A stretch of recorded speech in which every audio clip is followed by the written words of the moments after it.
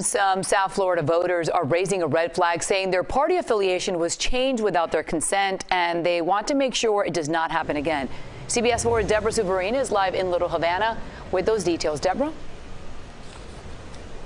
Maribel, the man you're about to hear from says he felt, feels as though he was misled. He has been a registered Democrat since 1985, but that all changed last December.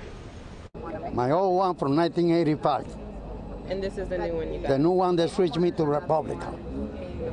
Juan Salazar has been a registered Democrat for more than 30 years. He says back in December that all changed, but according to him, it wasn't by choice. Say they're going to send the, the new registration card. I say they're sending automatic. They say no, they will fill out the application.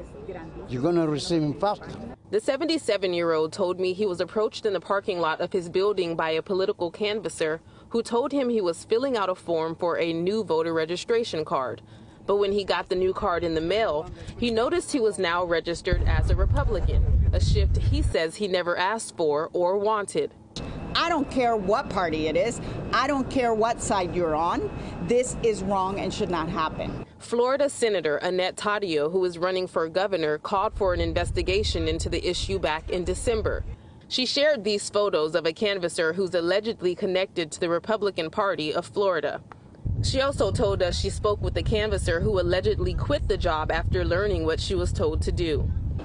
What the lady in Hillsborough told me is they were constantly encouraged and given bonuses for registering Republicans. In a statement, the Republican Party of Florida said their vendors conduct voter registration in accordance to Florida's laws. They also stated their vendors will now be taking additional measures, including using a document with a disclaimer written in English and Spanish in order for voters to be aware that they are changing their party affiliation. And I still don't receive my new card. We're here at the Haley Sofge Tower in Little Havana where several residents say this happened to them. Now, State Attorney Katherine Fernandez Rundle released a statement saying in part, we are aware of the recent reports relating to voter fraud registration and we have been investigating these claims for several weeks as we take these allegations very seriously. In Maribel, we spoke to residents here who say up to 40 investigators have been stopping by this apartment complex here here to interview the residents. We're live in Little Havana. I'm Deborah Souverain, CBS 4 News.